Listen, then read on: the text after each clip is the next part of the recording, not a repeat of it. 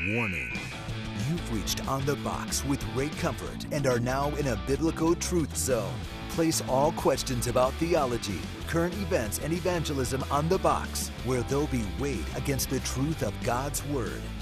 Ready your hearts and minds. You're about to be inspired and equipped to fulfill the Great Commission. Programming to engage in five, four, three, two, one. Welcome to another exciting edition of On the Box with Ray Comfort. As you can tell, Ray has had some reconstructive surgery since yesterday's program, and he's not his handsome self any longer. How you doing, Ray? Good, thanks. Yeah, no, Ray's actually busy with Kirk, and uh, they're out uh, doing some witnessing at Cerritos College as we speak. Right, Ray's Awesome. in the house today. Uh, would have been great, uh, or Kirk's in the house today. Would have been great to have him on with us, but they are out preaching the gospel. Mr. Brad, how are you? Doing well. Oh, that's that's okay Ooh, now. look at that. Yeah, No need, no need for surgery Yes. for Mr. Brad. He's always looking good. Mark, you've been working on Genius. You know, I haven't seen Ray excited about a project since 180 Since as he is about Genius. So, how's that going? You know, th- that is the case. I get in to work at 7 a.m. and Ray calls me right around 7:10. Uh, when can I come in? What's going on, Mac? Genius. You know, didn't you answer your emails at home? Can we work on this right, now? Right. You know, so he jumps in and he's so excited. He walks by my office and he pauses as he goes by to see what I'm working on, what I'm doing, so he can uh, sneak in and see if this is a good time for us to work together. It's nonstop with him when, when there's a project going on. I mean, there's no, it's just, that's it. That's the focus. That's what's happening. So, This is the latest, greatest thing in Ray's life. Right. Is this whole genius, and we should have the rough draft done, Lord willing, tomorrow, so we can watch it. Because you're gone. right. I've been catching some glimpses of it, and uh, Yeah. it's good stuff, man. Yeah, it's good. Yeah, Like, really good. Well, Ray and I were at Calvary Chapel Refuge in Huntington Beach last night uh, doing a 180 service. how'd that go? Oh, you know, it was awesome. Your parents used to go there, didn't they? They did. Oh, they love it. They would still go. My dad said, if I ever come into like ten million dollars, I'm giving a good portion of it to that church. He said it to me last Right, week. right. You know, so he really likes it. Yeah, they're in the old Burlington coat factory uh, there, and I was surprised. I mean, I knew they were in the area, but I was surprised to discover last night that uh, they're just maybe about three, four hundred yards down from a gas station my family used to own, right Oh. there on Beach and Edinger. And uh, and just you know, after I got up, I was talking about my testimony and you know how I was slated to be aborted and how I got saved and then got delivered out of the gang life and all that. And then I was reminded of something that had happened when I worked at the gas station uh, one day I was working, and uh, this guy started uh, crossing the street while traffic was going on Beach Boulevard, north and south, and he was just walking right in. That's the a middle. of busy the, oh, street. one of the busiest I think in, in California. So cars were putting on their brakes, people honking, and this guy he was out of it, you know. And uh, I'd been a believer for a couple of years. I remember thinking, man, I'm going to give this guy a Summer Harvest Crusade uh, invitation. Yeah. I went back in the station. I think a customer got in. I got distracted. Next thing I know, helicopters flying over the place, police cars pulling in, cops with their guns, you know, going all around. And then I just hear bam, bam, bam, bam, bam. I go around the corner and look, and there's the same guy lying down in a pool of blood. He had robbed what's now a BJ's, but was an El Torito right across the street. Uh, came across, went into Arby's right next door there Yeah. at Mobil I've eaten there many and times. um, and you know, police surrounded the place. By that time, he comes out, pulls out a gun, Ugh. and they start shooting him. So after the service, a lady comes up to me and says, "I cannot believe you shared that story. That was a relative of mine." And uh, yeah, it was uh, it was her brother and her brother's uh, her brother's wife's uncle. And he she said when the guy got he had gotten out of prison and he went over there, and so I was just I was blown away by that. Uh, just thinking, you know, again of God's divine hand and intervention and and the fact that you know someone knew him. So, but uh, but anyhow, uh, the Lord blessed the service, and uh, we had we had an awesome time, great response, and an encouragement to see that uh, you know the Lord is still working and moving. So if you have any questions, any thoughts, any comments, please email us to onthebox at livingwaters.com. Check it out. Check us out on Facebook and uh, on Twitter as well. All right, we got a great story for today. This really encouraged me and convicted me at the same time, and I'm Yeah. sure it'll do the same uh, for you guys. Christians, this is by CBN News. Christians are commanded to go into all the world and preach the gospel. Recently, CBN News met an 84 year old New York woman who's taken that mandate to heart. She's been ministering on the streets of Manhattan for decades. Manhattan. Times Square is famous for its bright lights and Broadway shows, but beneath the neon glow, you'll find Irma Morris, who, was, who has dedicated her life to pointing people to the true light of the world. For more than 40 years, she's handed out tracts in the Big Apple and told people about Jesus. Although she's been in New York City since 1964, the Brazilian native still struggles with her English, but that hasn't stopped her from returning night after night to pray and witness for Christ. Wow. Times Square might seem like an unlikely place to evangelize with so many people out having fun, taking in the sights, sounds, and shows. But Morris called Times Square the perfect place to tell people about Jesus. What do you think about that, Brad? Well, uh, you know, it's it's a challenge for someone who you know has an inability to uh, to speak English, you know, to reach out, let alone uh, um, you know relate to people, and uh, it just reminds me of the challenges uh, that some people have overcome to uh, to reach out with the gospel. You know, like uh, Joni Eareckson Tada, Right. who was bound to a wheelchair after a diving accident, and uh, you know she could have you know just you know left it at that and lived out her Christian walk, uh, you know, bound to a chair, but she used her inabilities uh, to reach out to the world uh, for those that were disabled, uh, providing the uh, necessary equipment that people with with disabilities often need, and and re- she reached out with the gospel as well. And actually, you know, in thinking of her, I was reminded as a small child, I was inspired by Joni because she was an artist. Right. Uh, and she, uh, even though bound to a wheelchair and didn't have the use of her arms, she was able to hold a pencil and, and a brush in her teeth Hmm. and produce amazing works of art, which was an inspiration to me. And that's what a, a large part of why I even entered into the art field. Wow, I had no idea about that, Brad. Yeah. Well, you know that that actually goes hand in hand with uh, Nick Vujicic. Nick Vujicic. Vujicic. we, were, Nick? we were trying to get his name right not to say it before the Yeah, program. you know he, he is an inspiration. You know, he's got his ministry, Life Without Limbs. He came and visited us. Right. you know, not too long ago. yeah, ago. we got a picture hanging in the hallway of Yumi uh, Ray, and Kirk with him. And here, here's a guy, amazing guy. He's got no arms, Hmm. no legs, right, and he is a bold ambassador for Christ. right. And if you think of anybody, nobody would would blink. Nobody would think otherwise if he just said, you know, I can't get out today. Right. I can't do certain things. Nobody would say, oh, yes, you can. Yeah. And he's risen above his deformities, Hmm.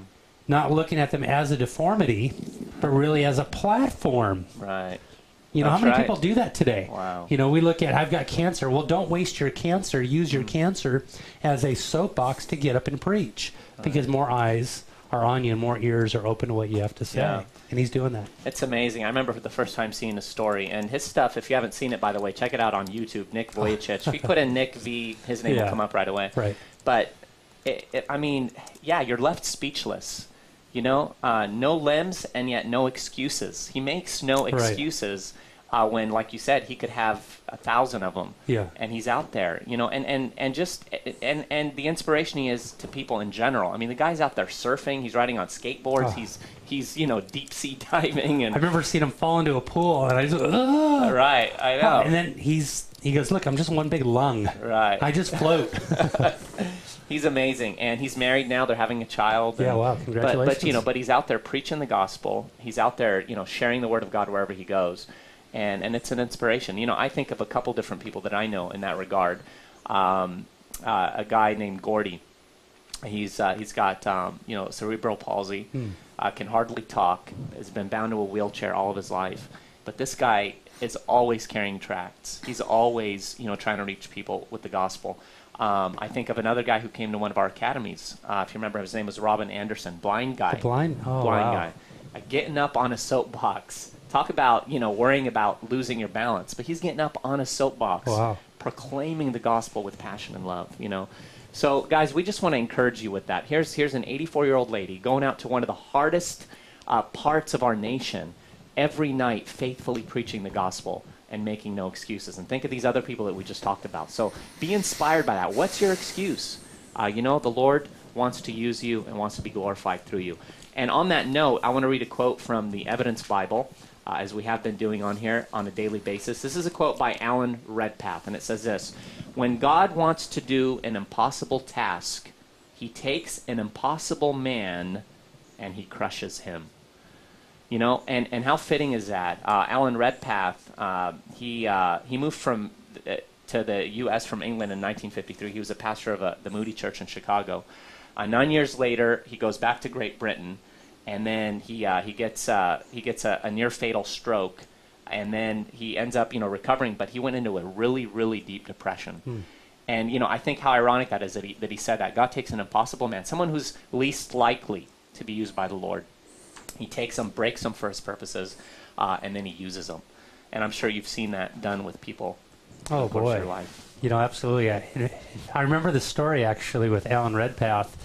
Um, he said he was burdened to pray for a man that he met one time, and it was Major Ian Thomas. Right. Major Ian Thomas, who started Torchbearers out of Estes Park, Colorado. Uh, he's getting really old in age, but he was burdened to pray for Major Ian Thomas all night long, and he said he was not going to relent in his prayer until the burden was gone Wow. and he found himself praying for the major all night long and he had met him one time Oh man. so then they find their paths finally crossed and uh, alan redpath said hey what was happening on this day at this time and major Ian thomas said i was at war and i was in the front lines and everybody in my platoon died but me Wow. but me i mean it's hard enough to get our friends to pray for us right. you know, or to pray for our family at times. How about meeting somebody one time and being burdened Right.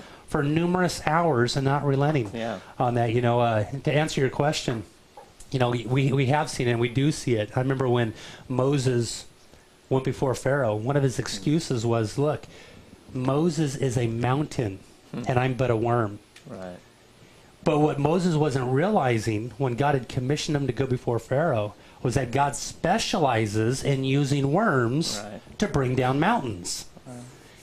It's not a big deal to have a mountain to bring down a worm. If you do that, then you pat yourself on the back. But God says He doesn't share His glory with anyone. Right. And it's so the Lord can be magnified and That's his it. strength to be made perfect in weakness. That's it. Yeah, that's really good. Brad, do you have any uh, insight on that in terms of God using people that are broken? Uh, no. I was already th- ready for the next segment in my mind. Right. Sorry. yeah, uh, you know, but you think of some biblical characters too, Mark. I mean, you think of uh, Gideon, Yeah, right? Um, hey, mighty man of valor. The dude's hiding out in a wine press, right? Threshing. And obviously, he's hiding out from the Midianites. I mean, you don't thresh wheat at, in a wine press, you do it out in an open field. But he's hiding, and the Lord chose him and used him. Um, you, you know, you noted uh, Moses. You think of David, the least of his household, right? Oh, it's right. like they're bringing out the big guns, and David's out there in the field uh, with his sheep, but but the Lord, you know, chose him and used him. You think of some modern day people, Oswald Chambers. Uh, you know, that guy was a radically broken guy. Um, he went he went through a, a period of darkness for I think it was four years. Wow. And he said at that time the Bible became to him the dullest, most uninteresting book in existence. Uh, and he said the only thing that kept him out of an asylum was was the grace of God and the love and support of, of friends and loved ones. And uh, and he was mightily used. I mean, My Utmost for His Highest is probably one of the most popular devotionals of all Devotions time. right? Uh, and you know, and you think of Spurgeon. Spurgeon went through deep times Oh. of depression. He used to go home. At, Spurgeon would go home after he preached some of his sermons, and he'd be in tears that, that the message wasn't impactful or powerful enough. What's that that do to the rest of us? You know, and I know that feeling. Right, and you think of how the Lord used him, and even Ray. You know, Ray went through through a long period where he dealt with uh, agoraphobia. He would go in public, he'd see someone that he knew, he'd break out in a cold sweat, didn't know how to talk to them. He had to stop family devotions for a year. He writes about it in one of his books, and um, and we see how the Lord uses broken people. So.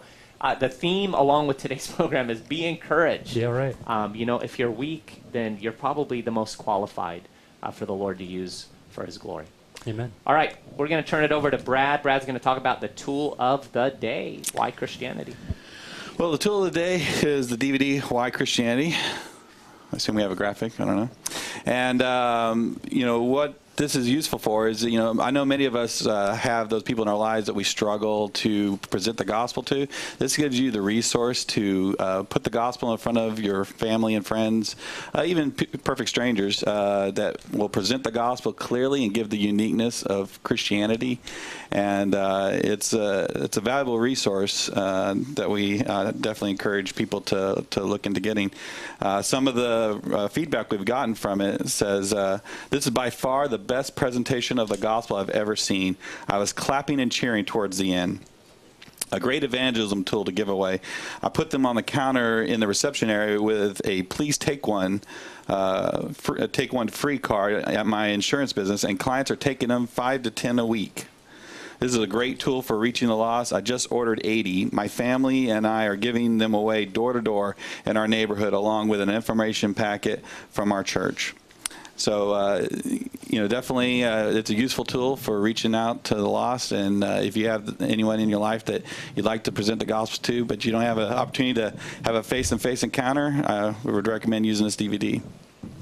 Right. We had a lot of fun filming that. I remember uh, being on a plane, and uh, uh, you know, it was it was definitely a great time. And, and we've also created a, uh, a little booklet from that called Why Christianity. That's great. Yeah, and the responses uh, has been awesome. All right, we're going to move along to our World Religions in a Nutshell series. Uh, we've mentioned Ray's book, World Religions in a Nutshell. And each week, one day a week, we're going to be taking a world religion from the book, and we're going to be touching on it and talking to you about how you can be equipped to share your faith with people from that world religion. Uh, last time we talked about Judaism, and we're kind of continuing that. We're doing that for a few weeks. What I want to do is I want to tie that in with a question that came in. I, we read you guys a question of the week last week and said we'd get to it this week, and it does touch on Judaism, so uh, it's connected. So I'll read that again, and then we'll talk about it. Uh, this is uh, from Raymond. Raymond asks, I'm a believer of Christ and had a question. I know the Jews of old shed blood of a clean animal to cover their sin commanded by God. I know Jesus was a perfect sacrifice who shed his blood for forgiveness of sins to all men.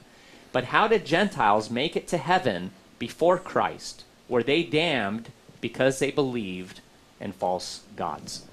You know, I think that the first thing that's important to establish, and Mark, I'm sure you'll concur with this, is that nobody deserves God's forgiveness. Right. You know, uh, th- there's there's this perception oftentimes from people that we get like, hey, why would God uh, not save uh, you know all of mankind? Why why you know why did these people die having not heard you know or, or what have you? But but we forget the fact that God owes mankind nothing but His wrath and judgment. That's right. No explanation needed. In fact, you know, with Job, all that Job went through, there was no, there's nothing written in there that God ever gave Job an explanation why he did what he did. Right. Know, God does whatever he wants. God is in heaven and he does what he pleases. The psalmist says. You know, th- this is actually a, somewhat of a difficult question in that the Bible doesn't have a lot to say Right. about Gentiles uh, before the time of Christ, but we can uh, establish a foundation. Right. And the foundation is that of which salvation has always been a work of God. Um, man is saved by grace through faith. No works has ever been a part of salvation. And we can begin to build from that foundation. Yeah. That we know, first of all, that the, how were the Jews saved? The Jews were saved by looking forward to the Messiah coming and taking away the sins of the world. And that's why John the Baptist, when he saw Jesus, he was so ecstatic. Right. He said, Behold, the Lamb of God that takes away the sins of the world, because up until that point, the sins were merely covered. But eventually they had to be dealt with. It was a foreshadowing of what was to come. That's, that's exactly right. Yeah, and you know the the point on first of all, like I said, you know, God does not owe man redemption. All man deserves is wrath and judgment. We saw what happened at the fall, and then we see what happens in the life of indi- every individual person who is a sinner, and and as a result of that, deserves death and the wrath and judgment of God. So whenever God issues salvation, uh, it's it's a byproduct of His grace and mercy. Yeah. Uh, and uh, so that's the second point: is that salvation has always been by faith. And here's some some scriptures uh, for you guys to note: Ephesians two eight and nine. For by grace you have been saved through faith, and that not of yourselves. It's a gift of God, not of works, lest anyone should boast. 2 Timothy one eight through nine. Therefore, do not be ashamed of the testimony of our Lord, nor of me his prisoner, but share with me in the sufferings for the gospel according to the power of God, who has saved us and called us with a holy calling, not according to our works, but according to his own purpose and grace, which was given to us in Christ Jesus before time began. Titus 3 4 through 5. But when the kindness and the love of God our Savior toward man appeared, not by works of righteousness which we have done, but according to his mercy, he saved us through the washing of regeneration and renewing by the Holy Spirit. Romans 4 4 through 5. Now to him who works, the wages are not counted as grace, but as debt. But to him who does not work, but believes on him who justifies the ungodly, his faith is counted for righteousness. Romans 11:6. And if by grace, then it is no longer of works, otherwise grace is no longer grace. But if it is of works, it is no longer grace, otherwise works is no longer works. And so we see in the New Testament model that definitely salvation is is by grace through faith. Uh, but I think sometimes a mistake that people make, uh, and Brad, maybe you can comment on this, is that oftentimes people will uh, have the perspective that it was different in the Old Testament or under the Old Covenant. Do you ever get that, Brad? Well, yeah, I think we don't have a lot to go on in the Old Testament to suggest that the Gentiles were included in the promise prior to the cross, like we do see in the New Testament. Right. And I think you know people have this idea that there's some sort of fairness that needs to be spread throughout time, all time, all over the world. And it's just like Mark said, you know, God does what He pleases, and and this is according to God's plan. Right. I think it's important to note too that um, it, it, was the same under the old covenant as it is in the new. And and here are some passages in that regard, dealing primarily first with Abraham. Then he, Abraham, this is Genesis 15:6, believed in the Lord, and he reckoned it to him as righteousness. Then Paul comments on this in Galatians 3, 5 through 9. He says, Therefore, he who supplies the Spirit to you and works miracles among you, does he do it by the works of the law or by the hearing of faith? Just as Abraham believed God and it was accounted to him for righteousness. So there he is citing that passage from uh, Genesis 15. Therefore, know that only those who are of faith are sons of Abraham. And the scripture foreseeing that God would justify the Gentiles by faith preached the gospel to Abraham beforehand, saying, In you all the nations shall be blessed. So then those who are of faith are blessed with believing Abraham. And so, you know, um, of course, this is in connection with uh, Genesis 12:3, where, where God said to Abraham, "And in you all the nations or all the families of the earth shall be blessed." So it's always been a faith. It's yeah. always been a gift of God's grace, uh, and yet even those who were saved in the Old Testament era um, were also covered by the blood of Christ. I mean, the cross took place at a at a certain uh, at a certain time in, in time and space, you know, when it did, but but retrospectively, all those who looked forward, those godly Jews who looked forward to the Messiah that was to come, are, are covered, and the, the blood of Christ is appropriated to them because they believe by faith. Yeah, you know, there there is one passage here that uh, you you can wrestle over if you'd like if you deal with this question. And I see that in Ephesians chapter 2. Now, Paul writing to the church at Ephesus, these are Gentiles. Right. You know, eh, we had Ephesus there in Asia Minor. And this is the passage that he brings out in verse 12. He says that at that time you were without Christ. Who? The Gentiles. Right. Being aliens from the commonwealth of Israel and strangers from the covenants of the promise, having no hope and without God in the world. Right. So, in my little research that I've done on this uh, this text, which is a very good question. I mean, it's, very, an very excellent genuine. question. People pose it all the time. hey, what about those before Christ came, or you know, or and we'll touch on it in a minute. What about those who even before Abraham called Abraham out and God right. called Abraham out and, and Judaism was established? Right. So I, I would I lean more towards that the Gentiles in the Old Testament were without hope. They, right. that God set His affection, His attention upon uh, the Jewish people for reasons known only to him. Right. And that the Gentiles were without hope during that time. But there's some questions that you got to deal with with that. Yeah. You got Melchizedek, who was a priest of the Most High God, who some say is this a Christophany? Right. Some think so, some think not. But he was a Gentile. Right. You You've know, got Jethro. Jethro, the the father of Moses. Right. Yeah, a, a, exactly. Who seemed to be, a, you know, one who feared God. But the, you know, here let me, let me let me finish up with this. This is why this question is so important to me.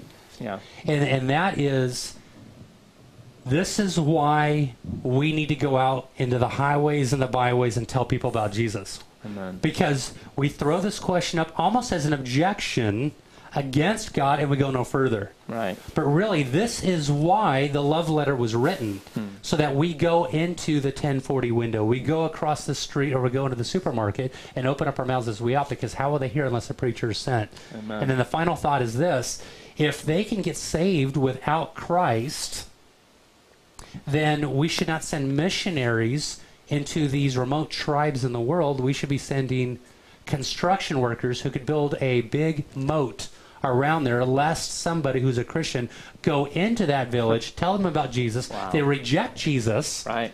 and now they're accountable. That's such a good point. Yeah, because there is that perspective. Uh, if people haven't heard, uh, then well, hey, there, you know, then then there's there's no there's no accountability. In that case, then, like Mark's saying, we need to keep anyone from hearing because Right. hey, then by that definition, they would be saved. But you know, again, it's important to note there were those who looked forward to the Messiah. Uh, you think of you think of uh, Simeon in Luke two. Uh, you think of Anna. I mean, they were looking forward to the Messiah. Simeon, you know, held Christ up and, and rejoiced uh, to, to see his day. It says he it says um, he, he was a devout waiting for the consolation of Israel, and the Holy Spirit was upon him, and it had been revealed to him by the Holy Spirit that he would not see death before he had seen the Lord's Christ. So the Jews back then were looking forward to the Christ. They just rejected Jesus as being that Christ. Right. Today we know they're looking forward to the Messiah. But for, the, for, for those who looked forward to the Messiah, those who attached themselves to the God of Abraham, Isaac, and Jacob from the Gentile world and looked forward to the Messiah, had the hope of salvation. Those that, that lived before uh, God had, had chosen Abraham and established Judaism, and there was widespread knowledge about the God of Abraham, Isaac, and Jacob, again, like Mark cited from Ephesians, uh, there was that general sense that the Gentiles had not yet been grafted in. But in the final analysis, we know that God is just. You're right. We knows we know that He knows the heart of every person. We know that there, like Roman talks about, every man is without excuse. There's that general revelation that God has given. When people pursue it, God gives that special revelation. There's so many stories of, of missionaries that, that, that have been out on the field who tell about these people who had no idea uh, about who Christ was because of contact through a missionary, and they en- encounter them and realize that these people had received divine, you know, knowledge that God had given, and then He sent him a missionary to give them more. You know? Wow. So anyhow, uh, be encouraged, guys, and know that God is sovereign. He reigns upon the throne. It's His mercy that He gives salvation, uh, and what a blessing that He does. So go out and share that with others, and uh, please be sure to join us tomorrow. Uh, we're going to be talking about Richard Dawkins getting a copy of 180. God bless you. For questions about On the Box with Ray Comfort or to submit questions for future shows, please email on the box at livingwaters.com. That's on the box at livingwaters.com. On the Box with Ray Comfort is an outreach of Living Waters. For more resources to inspire and equip you to fulfill the Great Commission, check out livingwaters.com or call toll free 1 800 437 1893. Now go and preach the gospel.